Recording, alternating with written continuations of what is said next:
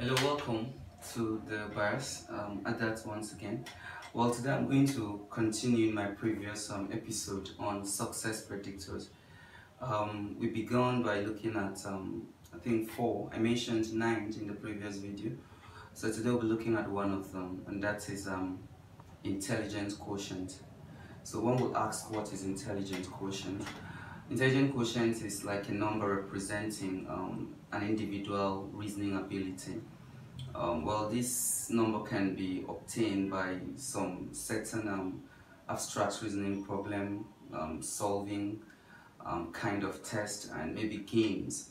Um, so, however, you know, intelligent quotient is actually a rough one because while it's, it's, it's proven psychologically that um, your intelligence as a person is um, contributed 70% is 70% contributed by your genetic.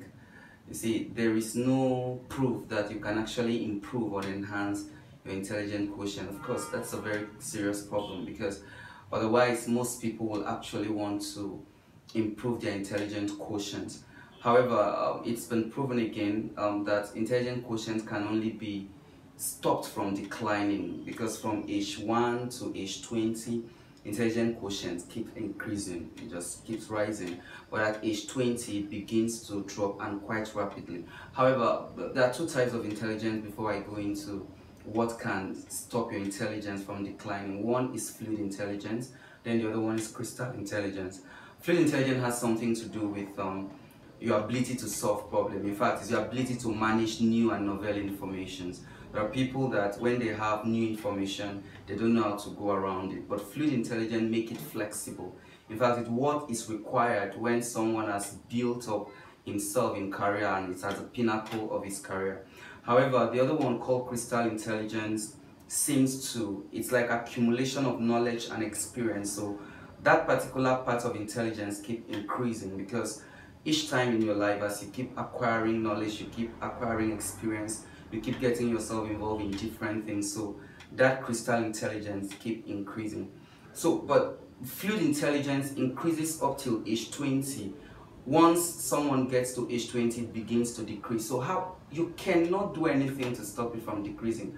However you can do something to make it remain fairly constant at that age. And what's that? Well it's exercise weightlifting exercise um, cardiac exercise like running, jogging, and doing other things that keeps pumping blood to the heart. So one will ask, how does exercise um, helps your intelligence? Of course, um, your mind is like a reservoir of thoughts, like a reservoir of processed thoughts, whereas brain is like the processor of thought. But however, the brain is powered, is energized by blood or oxygenated blood that flows towards it. So you see, as one exercises, there is this influx of blood running towards the brain and oxygenates the brain. And what it does is to do what a process known as neurogenesis. So as this blood gets, as this oxygenated blood gets to the brain, it makes the brain to produce some nerves and these nerves are like precursors to brain neurons which are like reserved to enhance your thinking ability so physical exercise can make your brain to remain, intelligent quotient to remain fairly constant. And of course, that is one reason to do exercise, so that you don't only jog, you don't only do exercises to keep yourself fit, you also do exercise to maintain your intelligent quotient. Now, let's go back to the fluid intelligence I've, just, I've explained before. You see, as one rises in his career, as one gets towards the top of the career, there is a need to ensure that your intelligence is very fluid because new information will come um, and you need to look for a way to navigate through this new information to still achieve the organization goal. When you get to the um, the competence hierarchy in your career, new things will happen, new technology, new innovations.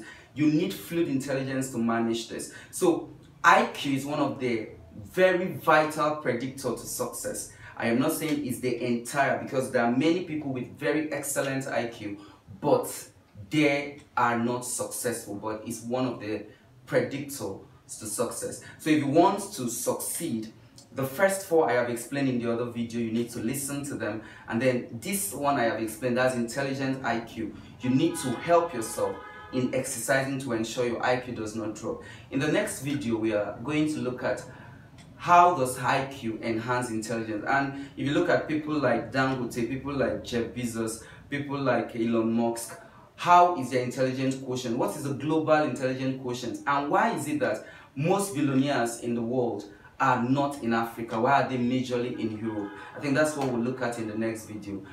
And we'll also look at the other predictors of success. Thanks for listening.